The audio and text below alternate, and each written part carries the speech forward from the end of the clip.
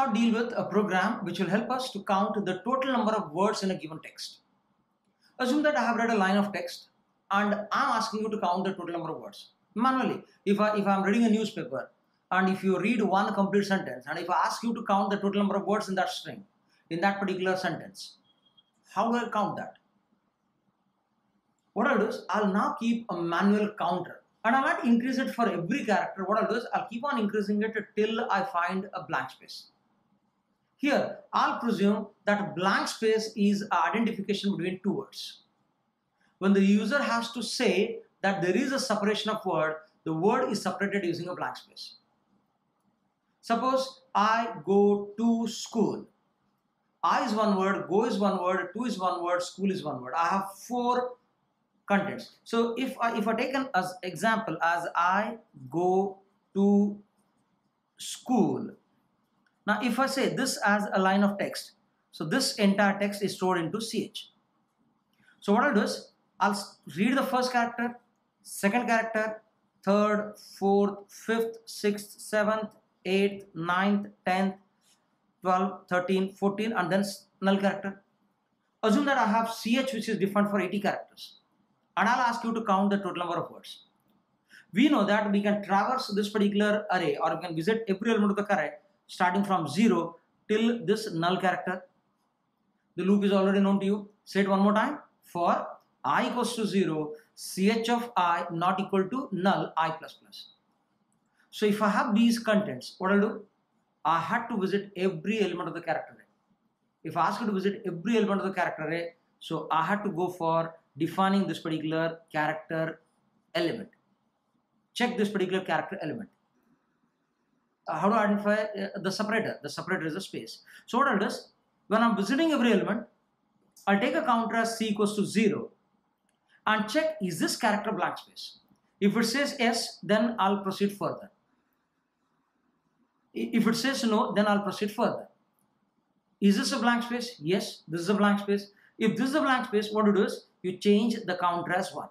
So automatically the counter is initialized to 1.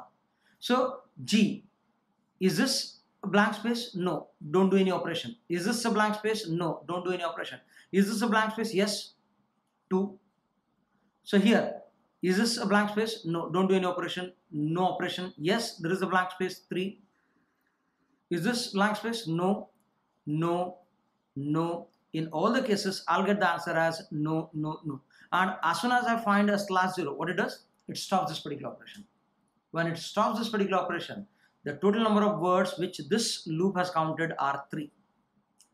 But here, the counted variables had to have how many values? 4 values. So, what I can do is, I can change this particular counter from 0 to 1. If I change the counter from 0 to 1, in that case what it does? The first itself will be changed as 2, the next will be changed as 3, the next will be changed as 4. You can do this or you can take C as 0, in that case 3 and finally you should display 1. One additional content of this particular C. So I have, I have identified a blank space as a separator. Now let's put the program to indicate this particular part. So I'll have C as 0, the counter as 0. I had to do some modification in this code help you with this particular modification. I'll ask the user to enter the text. I have read the text as I space go space to space school. For i equal to 0, ch of i not equal to null. So I have say AB space CD space EF. This is my ch. Counter is set to 0 every time counter is increased only when the blank space is found. For that, what I'll do is I'll use this particular condition. This loop takes the value from 0 to what? Null character. Takes 0 to null character. So I'll say ch of i equal to equal to blank space. If blank space, then increase the value. If not, avoid doing any operation. If will not do any operation, go back to i plus plus. i is 1, ch of 1 equal to not equal to null, true. ch of 1 equal to equal blank space, no, no in the sense, I can go back. i becomes 2. ch of 2, is it equal to blank space? Yes, it is equal to blank space. When it is equal to blank space, what do you do? You change the counter to 1. So here the counter is made as 1, here the counter is made as 2. But finally, how many words are there? 3 words. So in that case, what I'm going to do is, I'm going to cut this particular C and say it as C plus 1. So the value or total number of words is C plus 1. Or the other way is, You can set C as 1, say C equal to C plus 1 and here you can do only C at this place. So to count characters or to count words is pretty simple. When I ask you to count total words, what you need to do is you need to take this blank space separator and increase the number of or increase the counter only when there is a blank space. Whenever we are trying a strings program, you have to have some assumptions. I'll believe that the user has entered only one blank space between the uh, uh, two words.